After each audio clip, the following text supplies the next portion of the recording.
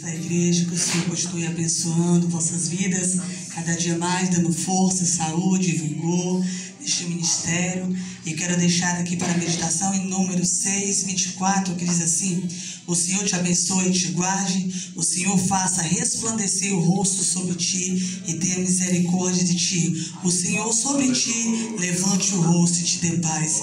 Que o Senhor te abençoe, Pastor Tonhão, cada dia mais sua vida, seu ministério e a sua família, em nome de Jesus. Amém.